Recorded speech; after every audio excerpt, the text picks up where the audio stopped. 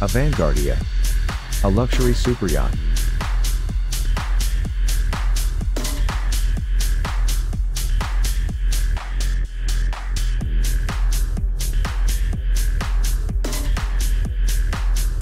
Italian designer, Pier Paolo Lazzarini, unveiled his latest design mega yacht, Avanguardia. According to Lazzarini, Avanguardia is just a stylistic exercise. The innovative design of Avanguardia also includes helipads, and a garage for storing vehicles, taking the concept of luxury yacht a notch higher. Up to 60 passengers can take a cruise on the mega yacht, and enjoy the five main decks it holds. The rear deck of Avanguardia includes two electric jet capsules. On the top of an extendable bridge, the head of the Swan serves as a control deck, from where the mega yacht is controlled.